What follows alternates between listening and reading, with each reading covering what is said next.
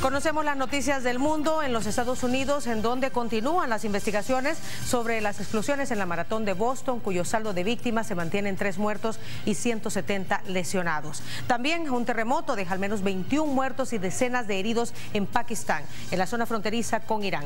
De esto y más hablamos en el siguiente resumen. Arrancamos en Estados Unidos, pues según las primeras investigaciones del FBI, las dos explosiones que se registraron en el maratón de Boston, donde fallecieron tres personas y más de 170 resultaron heridas, se debieron a artefactos artesanales y de poca potencia, que al parecer se encontraban dentro de basureros. Sin embargo, no se tiene rastro de los responsables y las autoridades siguen pidiendo colaboración de las personas para aclarar lo que el presidente Barack Obama consideró un atentado terrorista. Este es un hecho cobarde, indignante. El FBI está investigando y la unidad antiterrorismo.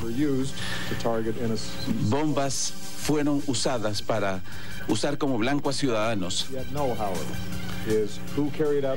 Lo que queremos saber es quién llevó a cabo estos ataques y por qué.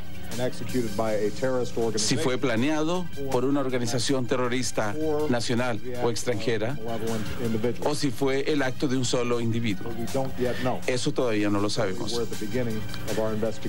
Ahí estamos empezando las pesquisas. Hoy también se aclaró que no hubo más de tres artefactos, descartando la versión sobre más bombas que no lograron estallar.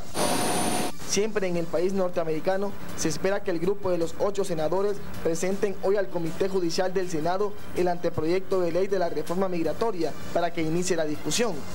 Se esperaba una conferencia de prensa previa a la entrega oficial del documento, pero esta actividad se suspendió por el atentado en Boston, aunque la entrega del documento sí se llevará a cabo.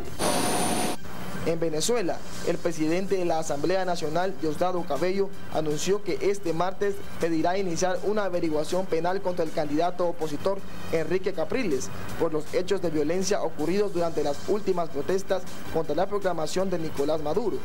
Cabello reiteró que él personalmente se encargará que pague lo que llamó el daño hecho a su país y al pueblo. En la manifestación denominada El Cacerolazo en las últimas horas de lunes se registraron varios muertos y más de 100 arrestos en hechos atribuidos a los opositores y sobre los que ya se pronunció también la Fiscalía General de Venezuela. Al menos 21 personas murieron y otras 80 resultaron heridas tras un terremoto de 7,6 grados en la escala de Richter en Pakistán, con epicentro en la zona limítrofe con Irán. A pesar que en un inicio los medios iraníes hablaban de 40 muertos, el gobierno aclaró que no se reportó ninguna víctima en ese país. Las autoridades de Pakistán también reportaron daños en hospitales, instalaciones militares y viviendas y el alto mando militar de Corea del Norte envió este martes un ultimátum a su vecino del sur, las manifestaciones donde ciudadanos surcoreanos quemaron símbolos y fotografías de líderes importantes del régimen comunista. Se dijo que de continuar este tipo de actividades habrá represalias sin previo aviso y de gran magnitud. Además, aseguraron que eso demuestra que la petición de diálogo era solo una estrategia.